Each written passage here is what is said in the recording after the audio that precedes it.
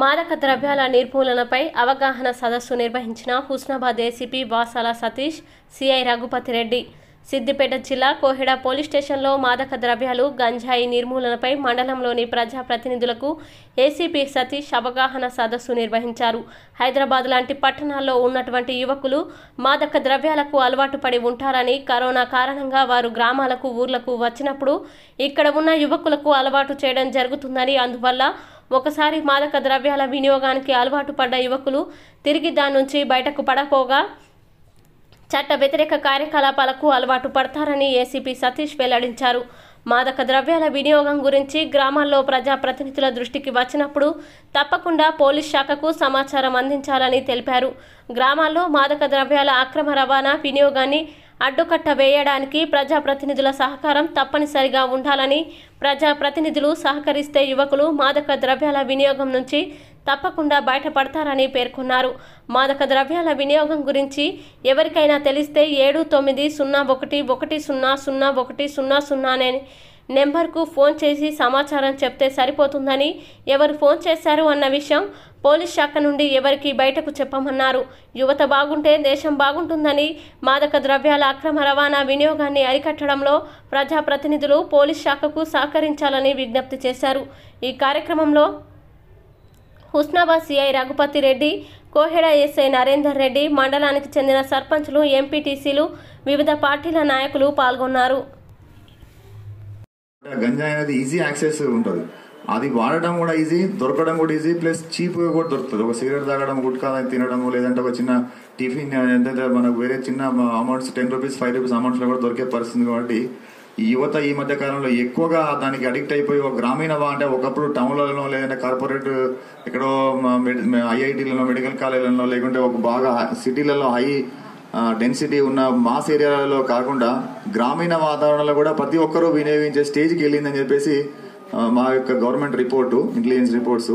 కాబట్టి దీన్ని ఖచ్చితంగా దీన్ని అరికట్టాలి దీన్ని కంపల్సరీ దీన్ని స్క్రబ్ చేయాలి లేకుంటే భావి తరాలు ఫ్యూచర్లో ఈ యువత అందరూ దీన్ని అట్రాక్ట్ అయితే చాలా కష్టం. దీన్ని ఎదుర్కొనడం రేపు పొద్దున ఒక వ్యక్తి ఇంతకుముందు అన్నట్టు గంజాయికి అడిక్ట్ అయితే ఏం జరుగుతుందంటే గంజాయి అడిక్ట్ అయితే ఇంకా వ్యక్తి ఇంకా అతను ఒక ఫ్యూచర్ పట్ల ఏం మాత్రం ఇంట్రెస్ట్ ఉండదు.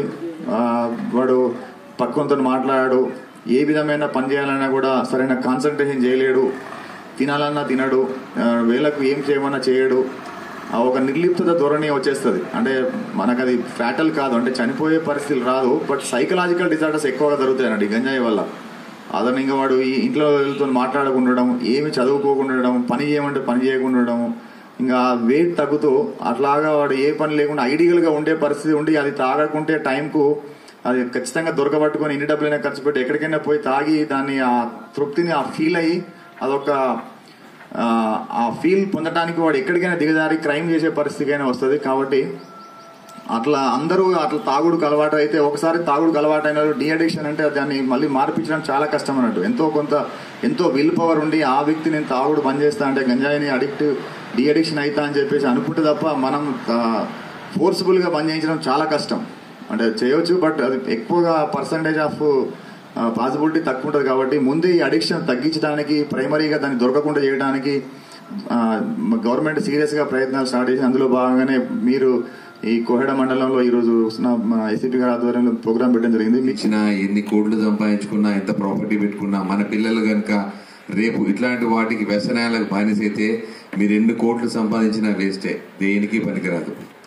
ఆ ఉద్దేశం గురించని రాష్ట్రాన్ని దృష్టిలో పెట్టుకొని రాష్ట్రంలో ఈ మధ్యకాలం లోపల మాదక ద్రవ్యాల యొక్క వాడకము గంజాయి కూడా ఎక్కువ కావడంతో దాన్ని దృష్టిలో పెట్టుకొని ముఖ్యమంత్రి గారు క్లియర్గా ఇన్స్ట్రక్షన్స్ ఇవ్వడం జరిగింది. దాన్ని రూపుమాపడంలో భాగంగా మీటింగ్ కండక్ట్ చేయడం జరిగింది. అదేవిధంగా మాకు కూడా క్లియర్ ఇన్స్ట్రక్షన్స్ ఇవ్వడం జరిగింది. ఎందుకంటే ప్రతి చోట ప్రజాప్రతినిధులు ఎవరైతే ఉంటారో మీ సహకారం లేకుండా మేము చేయడం అనేది అసాధ్యం.